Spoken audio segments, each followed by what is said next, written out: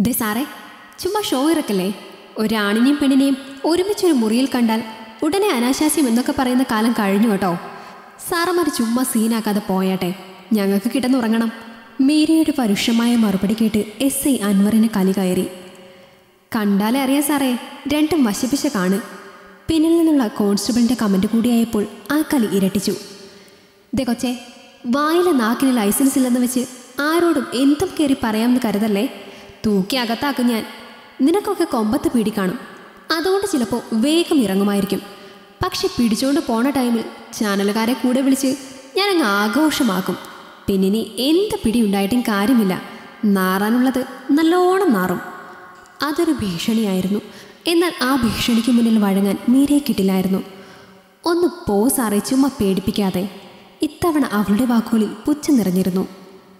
മീര നീ ഒന്ന് മിണ്ടാതിരുന്നേ. ചുമ്മാ പ്രശ്നം വഷളാക്കാതെ. അത്രയും നേരം സൈലന്റായി നിന്ന മഹേഷ് പെട്ടെന്ന് അവർക്കിടയിലേക്ക് കയറി. ശേഷം അൻവറിന് നേരെ തിരിഞ്ഞു. പൊന്നു സാറേ ഞങ്ങളുടെ ഇവൾക്കൊരു ഇന്റർവ്യൂ ഉണ്ട് നാളെ. അതിനായി വന്നതാ. അല്ലാണ്ട് അനാശാസ്യമൊന്നുമല്ല. സംഭവം ശരിയാണ്. വരുന്ന വഴിയിൽ ഒരു തെറ്റിദ്ധാരണയുടെ പേരിൽ സാറുമായി ഞങ്ങൾക്ക് ഒന്ന് ഉടക്കേണ്ടി വന്നു. അത് പിന്നെ പോലീസ് ജീപ്പായാലും പിന്നെ ഇന്നൊരു വണ്ടി വന്നിട്ട് ഹോൺ അടിച്ചാൽ സൈഡ് ഉണ്ടെങ്കിൽ ഒന്ന് മാറ്റി തരണ്ടേ സാർ അത് ചെയ്തതുമില്ല. വണ്ടി കുറുകെ നിർത്തി ഞങ്ങളുടെ മെക്കിട്ട് കയറാനും വന്നു. അവിടെ വെച്ചുണ്ടായ കലിപ്പിന് പകരം തീർക്കാനാണ്. സാറിപ്പോൾ ഞങ്ങളെ തിരഞ്ഞു പിടിച്ച് ഇവിടെ വന്നേക്കുന്നതെന്നറിയാം. ദയവ് ചെയ്ത് സീനാക്കല്ലേ?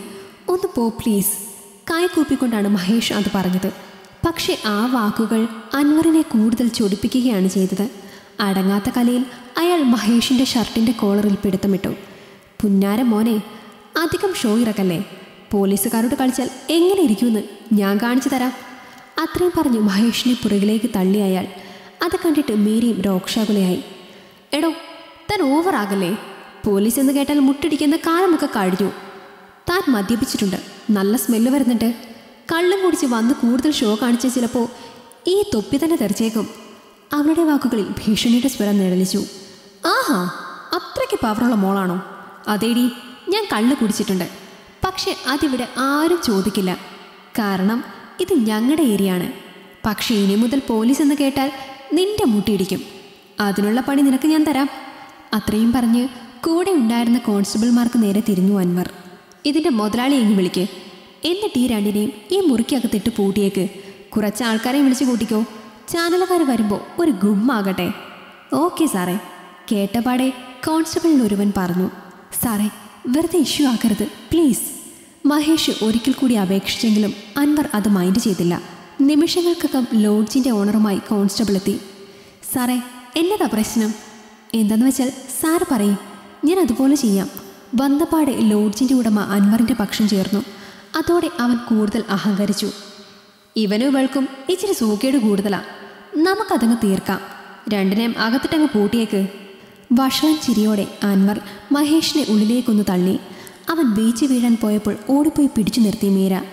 ആ സമയം മതിയായിരുന്നു അൻവറിന് ആ മുറിയുടെ വാതിൽ അടയ്ക്കുവാൻ. അകത്തുനിന്നും ശക്തിയിൽ ഡോറിലടിക്കുന്ന ഒച്ച കേട്ട് പുഞ്ചിരിയോടെ തിരിഞ്ഞു അയാൾ. ലോക്കൽ ചാനലുകാരെ വിളിക്കേ. കുറച്ച് ആൾക്കാരെയും കൂട്ടിക്കോ. പോലീസുകാരോട് കളിക്കാൻ നിന്നാൽ എന്താകുമെന്ന് ഇന്നിവർ പഠിക്കണം. അത്രയും പറഞ്ഞ് അവൻ പതിയെ തിരിഞ്ഞു നടന്നു. സാറേ ഇത് വെറുതെ പ്രശ്നത്തിന് നിൽക്കല്ലേ? അകത്തുനിന്നും മേരിയുടെ ഒച്ച കേട്ടപ്പോൾ വഷളം ചിരിയോടെ ഒന്ന് തിരിഞ്ഞു നോക്കി വീണ്ടും നടന്നു അൻവർ. നിമിഷങ്ങൾ കൊണ്ട് ലോഡ്ജ് ഉടമയുടെ നേതൃത്വത്തിൽ കുറച്ച് ആൾക്കാരും കൂടി അവിടെ. സാറേ എന്താണ്? മറ്റേ പരിപാടിയാണോ? ഇവിടുത്തുകാരാണോ അതോ വരുത്തരോ? കേട്ടറിഞ്ഞു കൂടിയവർക്കിടയിൽ ചോദ്യങ്ങൾ പലതും ഉയർന്നു വന്നു. ഇതിനിടയിൽ വാതിലിൽ അടിച്ചടിച്ച് ക്ഷീണിച്ച് തിരികെ ബെഡിലേക്ക് പോയിരുന്നു മേരിയും മഹേഷും. ഡി നീ ടെൻഷനാകേണ്ട നാളെ ഇന്റർവ്യൂ ഉള്ളതാ. ഇതാ എസ് എയുടെ കഴപ്പ്. അതങ്ങ് തീർത്തു കൊടുക്കാം നമുക്ക്. പൊട്ടൻ. പുച്ഛത്തോടെ മഹേഷ് അത് പറയുമ്പോൾ ചെറുതായൊന്ന് പുഞ്ചിരിച്ചു മീരയും ഒരു നല്ല പണി അയാൾക്ക് കൊടുക്കണംടാ ഈ പോക്കൃത്തരം ഇനി മേലാൽ അയാൾ കാണിക്കരുത്. നീ അച്ഛനെ വിളിക്കേ. നമുക്ക് അടുത്ത പണി നോക്കാം. മീരയുടെ ആവശ്യം കേട്ട് അല്പസമയം ചിന്തയിലാണ്ടു മഹേഷ്. അച്ഛനെ ഒന്നും വിളിക്കേണ്ട. ഇത് നമുക്ക് തീർക്കാവുന്നതേ ഉള്ളൂ. ശേഷം നല്ലൊരു ഐഡിയ കണ്ടെത്തി അവരോട് പറഞ്ഞു. അത് കേട്ടപാടെ മീരയും ഉഷാറായി.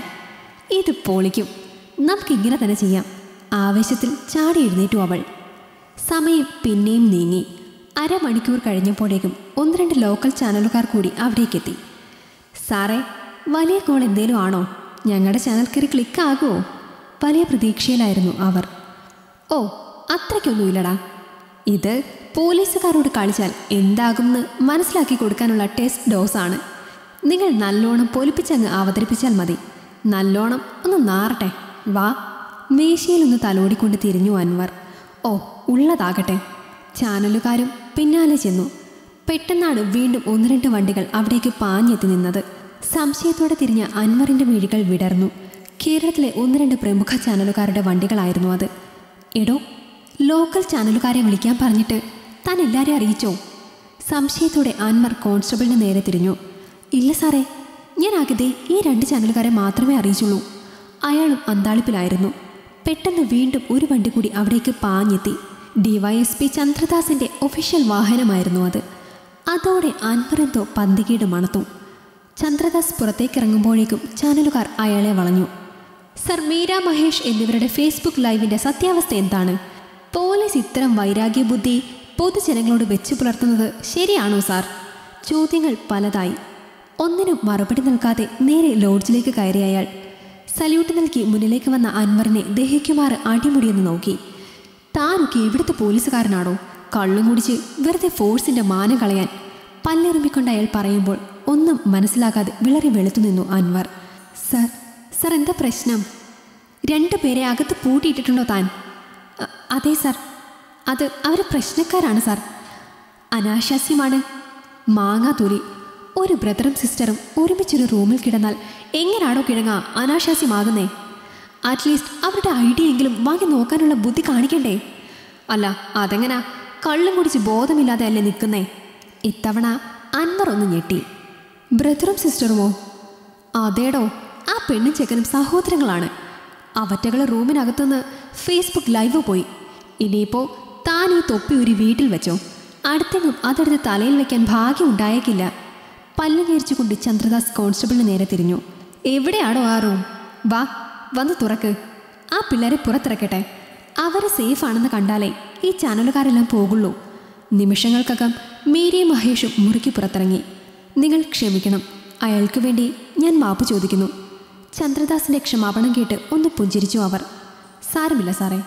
ഈ ഫോഴ്സിൽ എല്ലാവരും ഈ എസ് എനെ പോലെയല്ലല്ലോ നല്ലവരും ഉണ്ട്. അത് ഞങ്ങൾക്കറിയാം. മീരയാണ് മറുപടി നൽകിയത്. ശേഷം അവർ നേരെ മീഡിയക്കാർക്ക് മുന്നിലേക്കാണ് പോയത്. നടന്ന സംഭവങ്ങൾ വ്യക്തമായി വിവരിക്കുമ്പോൾ അവർ കണ്ടു കുറച്ചകലെ മാറി വിളറി വെളുത്തു നിൽക്കുന്ന അൻവറിനെ. മീഡിയക്കാരോട് സംസാരിച്ച ശേഷം മീര നേരെ അൻവറിന്റെ അരികിലേക്കാണ് പോയത്. അവരുടെ മുഖത്ത് നോക്കാതെ തല കുമ്പിട്ട് നിന്നു അൻവർ. ഞാൻ പറഞ്ഞില്ലേ സാറേ തൊപ്പി ഇപ്പോൾ ഏകദേശം തീരുമാനമായല്ലോ അല്ലേ? ഇനിയിപ്പോൾ ഒരു കുരുക്ക് കൂടി ഞാൻ ഇടുന്നുണ്ട്. വനിതാ കമ്മീഷൻ വഴി പറ്റുമെങ്കിൽ ഈ കുപ്പായം കൂടി ഊരി വെപ്പിച്ച് തരാൻ ഞാൻ. അവരുടെ വാക്കുകൾക്ക് മുന്നിൽ മറുപടി പറഞ്ഞില്ല അൻവർ. അയാളുടെ പിന്നിൽ നിന്ന കോൺസ്റ്റബിൾമാരും പതിയെ ആളറിയാത്ത പോലെ പമ്മി. അത് കണ്ട് അവർക്ക് നേരെ തിരിഞ്ഞു മഹേഷ്. സാറന്മാരെ നിങ്ങളും വിഷമിക്കേണ്ട. എല്ലാരെയും ഓർമ്മയുണ്ട്. ആളെണ്ണി പണി വരുന്നുണ്ട് കേട്ടോ? അതോടെ അവരും വിളറി വെളുത്തു. പിന്നെ അധികം നിന്നില്ല. തിരികെ നടന്നു മഹേഷും മീരിയും. ഡിവൈഎസ്പിയുടെ വാഹനത്തിൽ തന്നെ അവർ പുതിയ ലോഡ്ജിലേക്ക് പോയി. ആകെ മൊത്തത്തിൽ മൂഞ്ചി അല്ലേ സാറേ? കോൺസ്റ്റബിളിൽ ഒരാൾ പറയുമ്പോൾ മറുപടിയില്ലാതെ നോക്കി നിന്നു അൻവർ. ഈ കഥ നിങ്ങൾക്കിഷ്ടമായെങ്കിൽ ലൈക്ക് ചെയ്യൂ. നിങ്ങളുടെ അഭിപ്രായങ്ങൾ കമന്റായി രേഖപ്പെടുത്തൂ. കൂടുതൽ കഥകൾ കേൾക്കാൻ ഈ ചാനൽ സബ്സ്ക്രൈബ് ചെയ്യൂ.